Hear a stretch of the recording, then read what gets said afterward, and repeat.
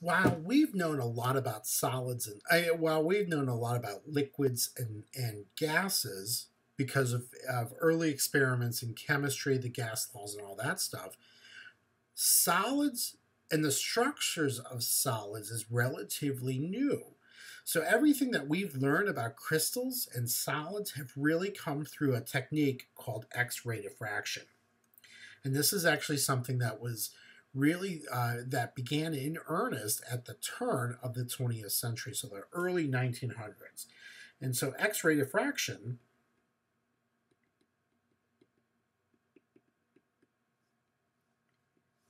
is the scattering of X-rays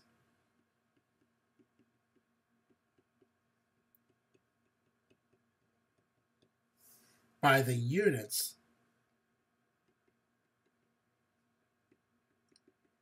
of the crystalline solids.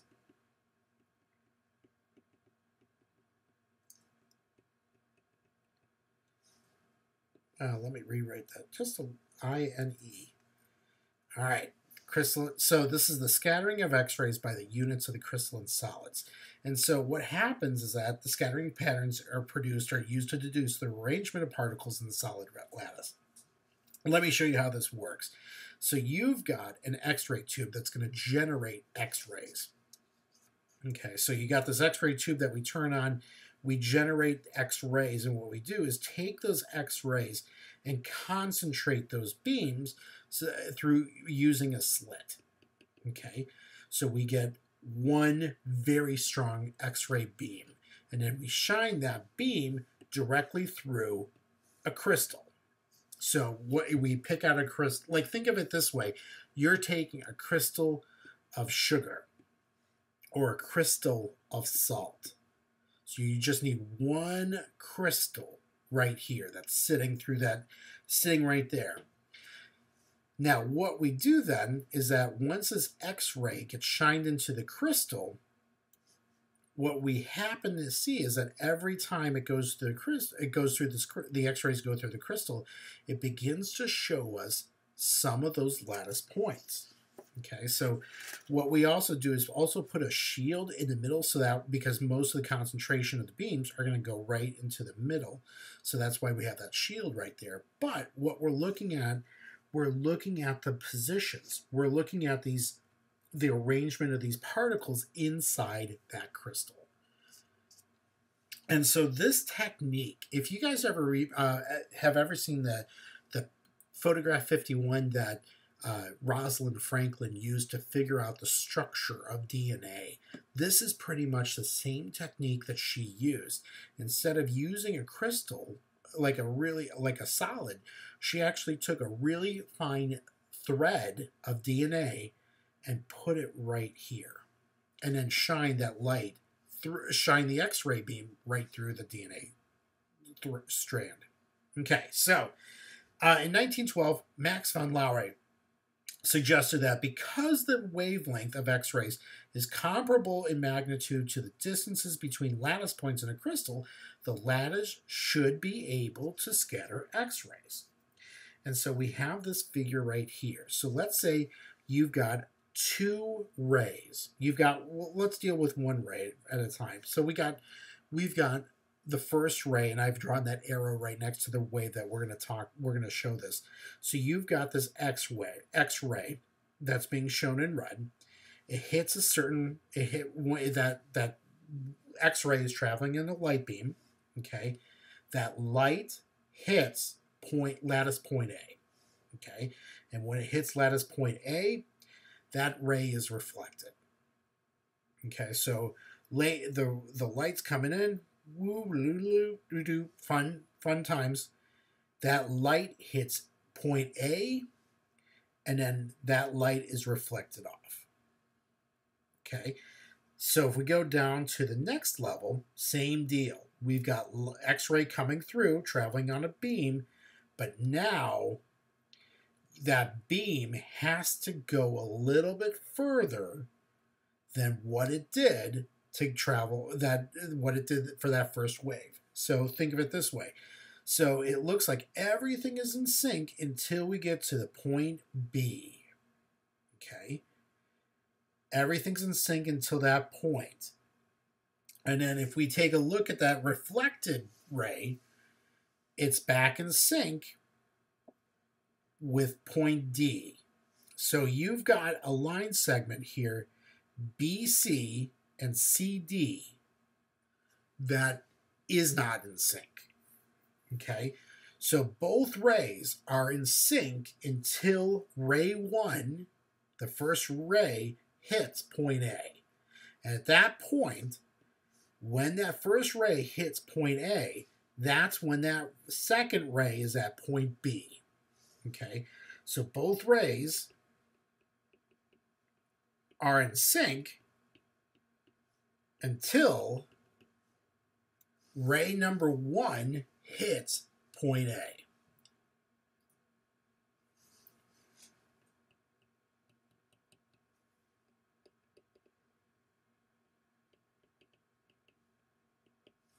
Okay. Now that second ray has a little bit of distance that it has to travel, and that and for us that's going to be line segment BC and then line segment B uh, CD in order to sync up again. Okay, so there's an extra distance that the second ray has to travel in order to be in phase with the reflected ray again, and we said that that's line segment BC and then line segment CD. Okay. Now, if we were to take a look at line segment BC and we were to measure the angle between, you know, that if we were to set this up as a triangle, so let's say we draw a line between, we make a line between point A and point C, we could use trigonometry and we can figure out that that angle, that, that line segment for BC should be the distance between points A and C, which we're going to call lowercase d, times the sine of that th- of that angle. Okay, so you're and then for CD we're going to do it the same way. So you're going to have the same distance.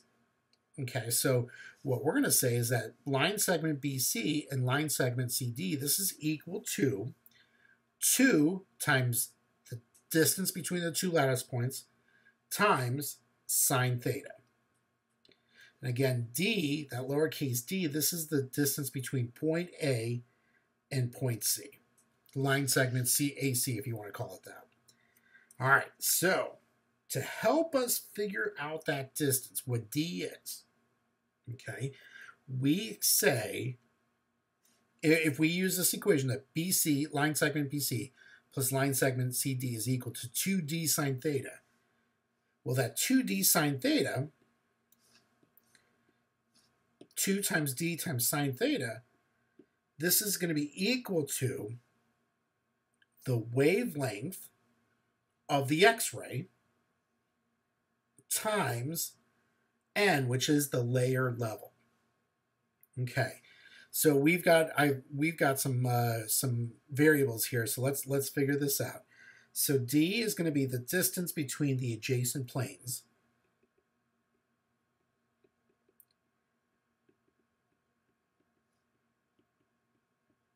Okay. N, we call that the layer level. And this has to be an integer. So it's got to be one, two, three, so on. Okay. And then at, uh, lambda, the Greek symbol lambda, this is going to be your wavelength.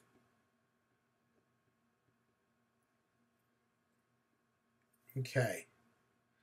And then theta, theta is going to be the angle between the rays.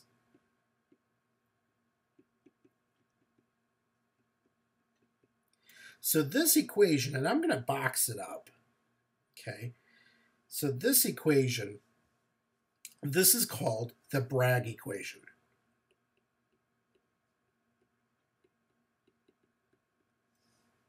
So let's try this out. So we got a problem here. X-rays of wavelength 0.154 nanometers are diffracted from a crystal at an angle of 14.17 degrees. Assuming n equals 1, Okay. Calculate the distance in picometers between the layers in a crystal. All right, so what information do we have? So we know that the wavelength is 0.154 nanometers. And we know that theta, the angle, is going to be 14.17 degrees. Okay, we also know that n, the layer level, is going to be 1. All right, so if we look at the Bragg equation, we've got wavelength, we've got n, we've got theta. So the only thing that we have to solve for is d, the distance. Okay, so that being said, we know those letters. Let's see what we got. So here is the wave equation again, or the Bragg equation, 2d sine theta is equal to n times lambda. Okay, we're solving for d. So in order for this equation to work, I need to get d by itself. And so for that to, to get d by itself, I'm going to take 2, I'm going to divide both sides by 2 sine theta. So that way, we're left with d on the left-hand side. Okay. All right, so we've got those pieces. All right. Now, one thing that we should do before we get carried away, we have a wavelength that's in nanometers. It's asking for picometers. We probably should do that that conversion right now before we go go any further. So if the lam if the wavelength is 0.154 nanometers, that means that there is there are 10 to the third picometers in one nanometer. Okay, so nanometer is 10 to the minus ninth meters, picometer is 10 to the minus 12th uh, meters. All right, so uh, 0.154 times 10 to the third, that gives us 154 picometers. So that one's easy. All right. All right, so now that we have the right lambda, we have theta, we have n, before, and one more thing, before we do anything else, Notice that the theta is given to you in degrees. So if you're using a scientific or a graphing calculator, change that from radians to degrees. Okay. All right. So now let's pop it in. So our equation is d is equal to n times lambda divided by 2 sine theta. So let's pop it in. We know n is going to be 1. Lambda, we just figured out, is 154 picometers divided by 2 times sine of 14.17 degrees. Okay. So if we take 1 times 154, that's 154, times 2 times sine of 1417, that D should be 314.54 picometers. Now, if we're reporting this with the right amount sig figs, that number should be 315 picometers. And that's it. That is the Bragg equation.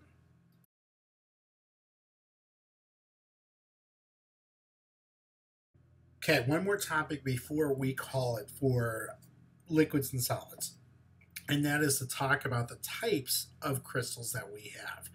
So we talked about that we have two to, that we classify solids as to two as to you know we put everything in two categories either they're crystalline solids or they're amorphous solids. So let's talk about other types of crystals that we have. So there's actually four main types of crystals. So you can have an ionic crystal, and these crystals are, are really determined by the kinds of intermolecular forces that holds the particles together. So you have an ionic crystal. Ionic crystals have two important characteristics that they're composed of charged species. So you're going to have a positively charged species next to a negatively charged species. And the anions and the cations are going to be quite different in size. Okay, so usually one is going to be smaller. Usually the cation is going to be a lot smaller than the anion. Now, we also know that ionic crystals will have very high melting and boiling points. Okay, and we actually saw that back in Gen Chem 1 when we talked about lattice energy. Okay. Now, also, ionic crystals do not conduct electricity.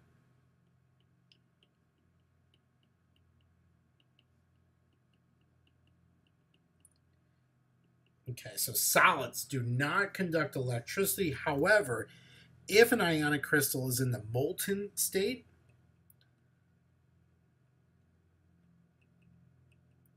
that does. So molten state, you've melted that crystal down so it kind of free flows. It's not quite a liquid yet. So if you've melted some uh, melted an ionic crystal down to that point where it's kind of like glass, uh, yes, that that does conduct electricity. You also have covalent. So you do have covalent crystals.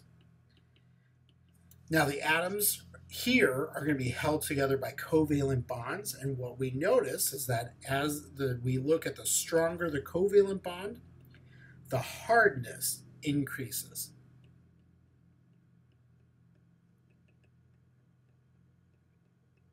So in, when we're talking about hardness here, we're talking about how malleable is a solid. So what we want to look at, the stronger the covalent bond, we want to look at really we want to deal with low difference in electronegativities. Okay, so think of it this way. If you take a look at a diamond, diamond is supposed to be one of the strongest materials on Earth. So if you think of a carbon bonded to a carbon, those carbons are pretty, I mean, the difference in electronegativity is virtually zero. Okay, so we want to deal with really in a covalent crystal, we really, the strongest covalent crystals are going to be nonpolar covalent bonds. Okay, and two examples, diamond, which are sp3 hybridized carbons, and then graphite, which is sp2 hybridized carbons as well.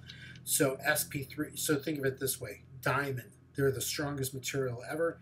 Graphite, you can break that. We all we all have broken pencils at, at some point in our lives, and that's that's what's inside a pencil.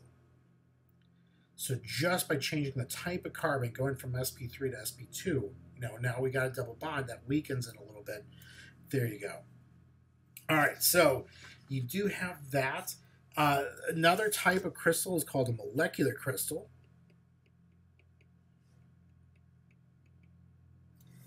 And so with a molecular crystal, each lattice point of a molecule is going to be a molecule instead of an atom.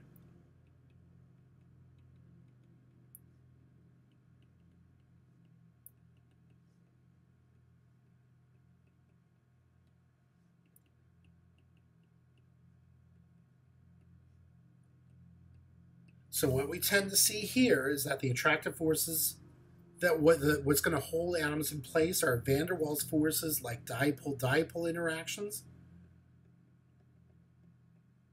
and London dispersion, okay, and or hydrogen bonding. And you know what we saw when we talked about intermolecular forces, the weaker the forces, the weaker the crystals. And that these tend to be easily broken. Okay. So the lower the the weaker the forces, the weaker the crystals easily broken. And then finally, the last type of crystal that we have are metallic crystals. Where every lattice point in the crystal is going to be occupied by a metal atom. These are usually pretty dense crystals and they are also great conductors of heat and electricity.